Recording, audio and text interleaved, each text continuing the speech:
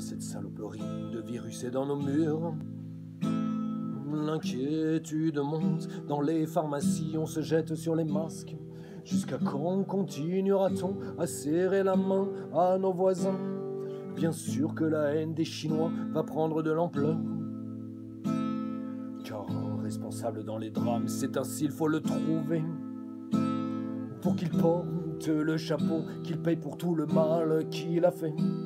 Mais lorsque le drame prend de l'ampleur et sème la mort à tout vent, les hommes désespèrent et ne croient plus en Dieu.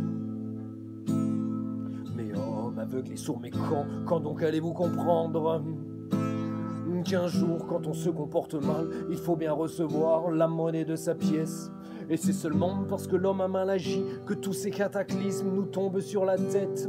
Alors pourquoi Dieu devrait-il nous en préserver? Devrait-on passer l'éponge lorsqu'un homme assassine l'un de nos frères? Doit-on fermer les yeux lorsqu'un homme braque une banque ou détrousse une petite vieille? Non mes frères, ce n'est pas possible car plus rien ne l'arrêterait. Rien de plus normal que d'avoir à payer lorsqu'on a fait le mal.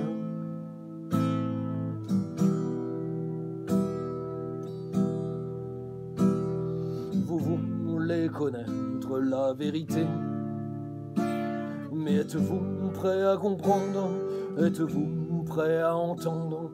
Car toutes les calamités qui s'abattent sur le monde ne sont que les péchés des hommes qui retombent sur la terre. En d'autres termes, mes frères, si tous les hommes vivaient en Dieu, il n'y aurait plus de calamités, ni même plus de maladies.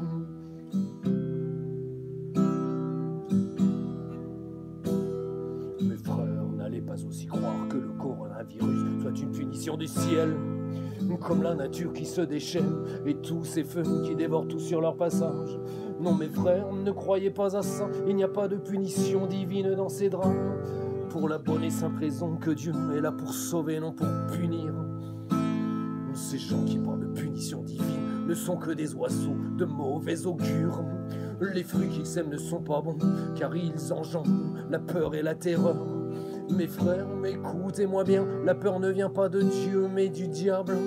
Ces gens sont donc même malgré eux des porte-paroles du diable. Maintenant, Dieu nous laisse faire. Y a-t-il à ça quelque chose d'anormal? Le libre arbitre, il nous le laisse. À nous de choisir entre le bien et le mal. Et si l'on fait le mal, les cons récoltent les fruits que l'on sème. Pourquoi Dieu devrait-il nous en préserver? Car sitôt l'épidémie disparut, sitôt les larmes séchées, l'homme aurait au fait d'oublier le mal reprendrait de plus belle. Car l'homme ne se soucie ni de Dieu, ni de ses frères, mais seulement de sa petite personne. Mes frères, des temps difficiles sont à nos portes.